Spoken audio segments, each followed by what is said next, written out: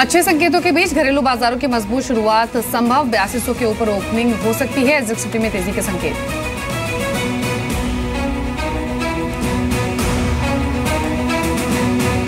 GST council की बैठक और पाँच राज्यों के विधानसभा चुनावों की घोषणा पर रहेगी आज बाज़ार की नज़र। जीएसटी मीटिंग में डुअल कंट्रोल पर अब तक नहीं बनी बात। 12 बजे चुनाव आयोग यूपी उत्तराखंड, गोवा, पंजाब और मणिपुर में चुनाव की तारीखों का करेगा ऐलान।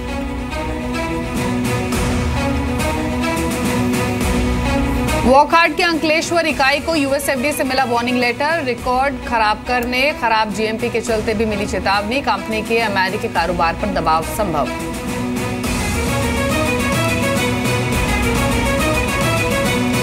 ब्याज दरों में कटौती का सिलसिला जारी। अब एचडीएफसी का लोन भी हुआ सस्ता। पिछहत्तर लाख तक के होम लोन दरों में कटौती। महिलाओं के लिए नई दर 8.65 परसेंट और बाकियों के लिए 8.7 परसेंट होगी होम लोन की नई दरें।